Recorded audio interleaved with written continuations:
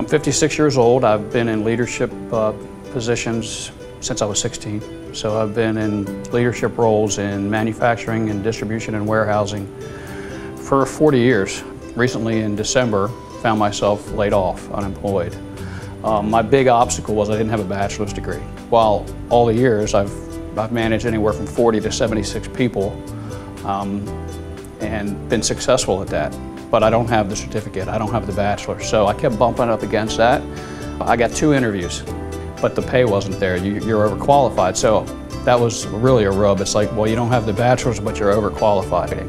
And I got to the point uh, where I said, why am I going to keep banging my head up against the wall? I knew some folks that had gone through this program. They always talked about the program, and I thought, well, I've only got another 11 years to work. Um, why don't I go ahead and check it out? Went in and talked to Janie. Uh, Janie is a great navigator. She, she really, she asks probing questions that kind of gets to what you're looking for, and from there she takes it, and she's so well networked that she was able to plug me in where I needed to be plugged in to move farther. Uh, so Janie did a great job with that. I got plugged into the Western Maryland Consortium. Came out on the other side, I'm signed up, and I'm here. And the school's been great.